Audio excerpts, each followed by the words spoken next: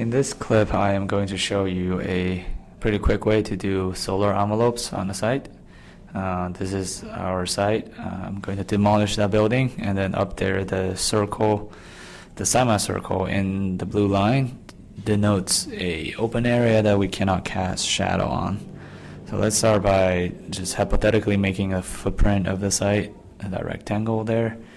And uh, what we need to do is first set up the sun, the document sun information. And if you don't have this tab already, just type in sun in Rhino. It will call up this interface. And you simply have to put in the location. Um, uh, I think I used the stock model of a DC map, so Washington, D.C.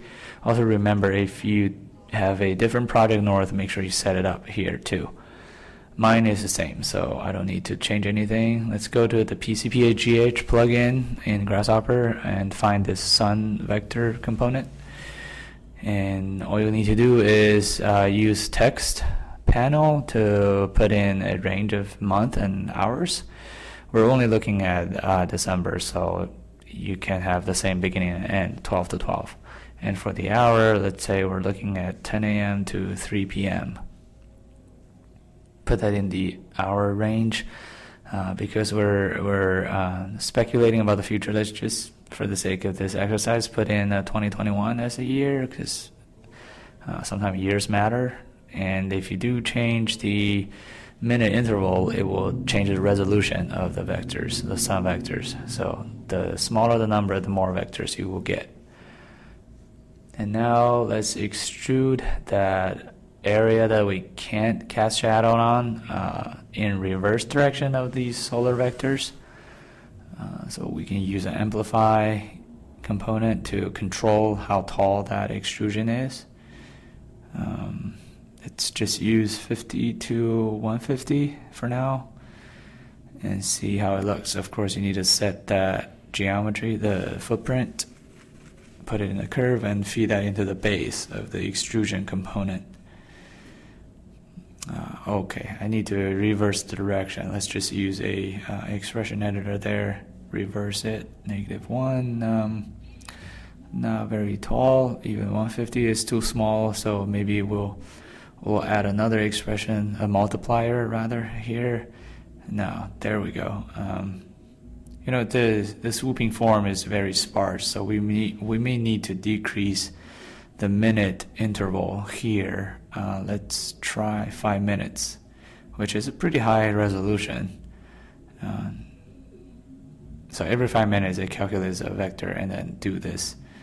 It does this uh, extrusion. And now we need to intersect a straight up extrusion, say like a tower form with these sweeping volumes the point of getting the intersection is that uh, we don't violate these volumes. That's how we know we don't cast any shadows. So let's make these components. Uh, it's a little too short. Let's put in a multiplier like so. Uh, as long as it intersects fully, it should be fine. Later you will see it doesn't necessarily have to puncture through. Um, but so if we cap them, uh, now we know we're operating in solids. Let's go to solid difference. Right here, put the subject into A and all the cutting ones into B. It might take a second or two to calculate. Uh, let's uh, shut off the preview of these and now you can see the bottom part is the actual solar envelope. We can reduce the height of uh, this tower extrusion just so we don't get too much of the above um, it's really useless. Only the bottom is a solar envelope.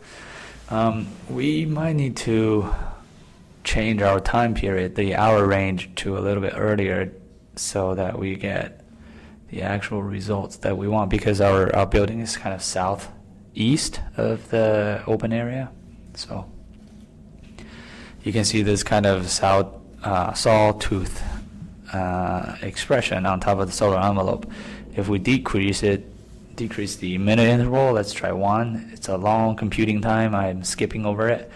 But uh, if you want, you know, you can get a very smooth sort of texture now. It's um, more accurate this way, but you're giving up a lot of computing time. Sometimes it's, it's, it's better to just use uh, you know use some discretion uh, on your own. Uh, I think three minutes interval uh, is good enough sample for this case. Uh, you know, it's still a sawtooth, but um,